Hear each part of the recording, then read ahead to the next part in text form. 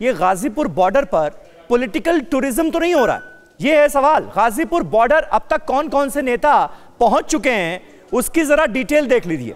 संजय राउत पहुँचे शिवसेना के पाँच सांसद अब तक गाजीपुर बॉर्डर पहुँच चुके हैं। इसके अलावा सुखबीर सिंह बादल, यानी अकाली दल के नेता, इसके अलावा जयंत चौधरी, आरएलडी के नेता हैं, वो पहुँच चुके हैं।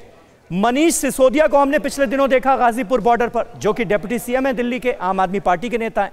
अभय चौटाला पहुँच चुके हैं, राकेश टिकैत से उन्होंने मुलाकात की।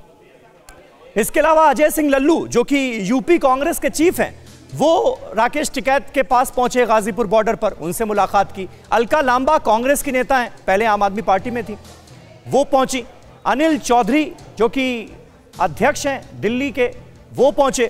तो कुल मिलाकर तमाम जो पॉलिटिकल पार्टीज़ के नेता हैं, वो गाजीपुर बॉर्डर पहुँच रहे हैं। और अब ये आंदोलन जो है, इस पर एक सियासत का लंबा दौर आने वाले वक्त में हम देखेंगे, ऐसा नज़र आता है। इसके अलावा तमाम ऐसे नेता हैं जिन्होंने फ़ोन करके राकेश टिकैत से बातचीत की है, उनका हालचाल लिया है। इसमें कौन कौन है?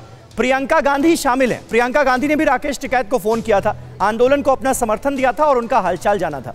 खासतौर पर राकेश टिकैत के आंसुओं को देखने के बाद जमकर सियासत शुरू हो चुकी है और तमाम सियासी दल भी राकेश टिकैत के मंच पर पहुँचना शुरू हो चुके हैं। प्रकाश सिंह बादल ने भी राकेश टिकैत से बात की अखिलेश यादव ने राकेश टिकैत को फ़ोन किया।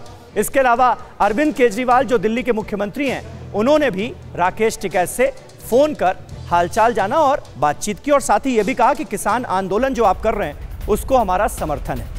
फ़िक्र आपकी, सोमवार से शुक्रवार, रात नौ बजे, सिर्फ़ टीवी नाइन भारत वर्ष पर।